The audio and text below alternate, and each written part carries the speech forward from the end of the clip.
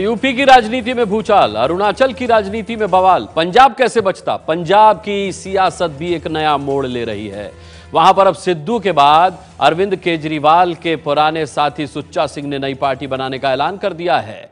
सुच्चा सिंह पंजाब में आम आदमी पार्टी के संयोजक रहे हैं। कैसे सुच्चा सिंह केजरीवाल के लिए मुसीबत बन सकते हैं? खुद वही बता रहे संदेश लगभग यह हो जाइए कि तुम कोई नवा प्लेटफॉर्म दो ਜਿਹਦੇ ਤੇ ਚੰਗੇ ਬੰਦੇ ਜਿਹੜੇ ਆ ਉਹ ਸਾਰੇ ਇਕੱਠੇ ਹੋਣ ਤੇ ਪੰਜਾਬ ਦੇ ਵਿੱਚ ਪੰਜਾਬੀਆਂ ਦੀ ਅਹ, ਜਿਨ੍ਹਾਂ ਦੀ ਕਮਿਟਮੈਂਟ ਪੰਜਾਬ ਵਾਸਤੇ ਹੋਵੇ ਉਹਨਾਂ ਬੰਦਿਆਂ ਦੀ ਸਰਕਾਰ ਬਣੇ ਇਸ ਤਰ੍ਹਾਂ ਦੀ ਪਾਰਟੀ ਬਣਾਓ चले सुच्चा सिंह का दावा है कि वो केजरीवाल के लिए चुनौती पेश करेंगे